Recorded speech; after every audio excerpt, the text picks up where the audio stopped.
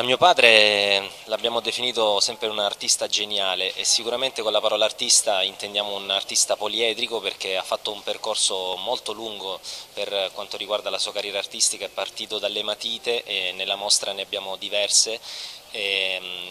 continuando poi con la, con la pittoscultura che poi è stato uno dei suoi capisaldi, uno dei suoi punti forti, ne abbiamo un esempio alle spalle con questo Amore Psiche e poi si è spostato sul sacro, quindi rappresentazioni sacre, rappresentazioni di donne, quindi abbiamo un po' misto tra sacro e profano, e finché non è arrivato addirittura all'astrattismo, quindi eh, ha sperimentato tanto, è cresciuto tanto, ha fatto tantissime mostre,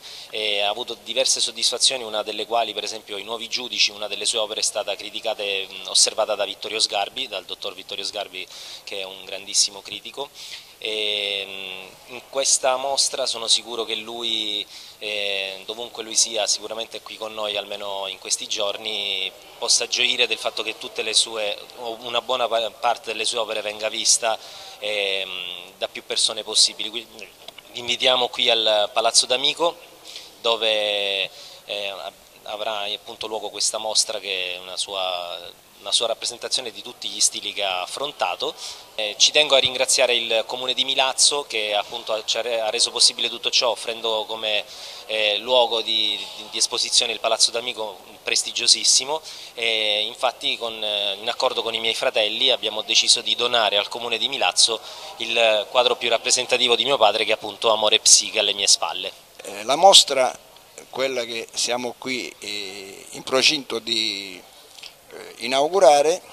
nasce da un impegno che io avevo preso con eh, il maestro Fazio, ma non solo perché il maestro Fazio era legato a me da profonda amicizia, ma perché Pippo Fazio, preferisco chiamarlo così, ha speso moltissimi dei suoi anni, tanti, per la passione che aveva per l'arte. Quindi sul territorio è stato un personaggio che si è sempre impegnato, si è contraddistinto per la divulgazione dell'arte, lasciando un ricordo eh, indelebile in chi lo ha conosciuto e lasciando delle preziose opere che noi abbiamo raccolto qui questa sera in questa retrospettiva postuma partendo dai primi, dagli esordi, le matite degli anni 60 fino ad arrivare alle ultime elaborazioni che sono i lavori astratti del 2021. Quindi era diciamo, un impegno da parte dell'amministrazione ma sempre anche nell'ottica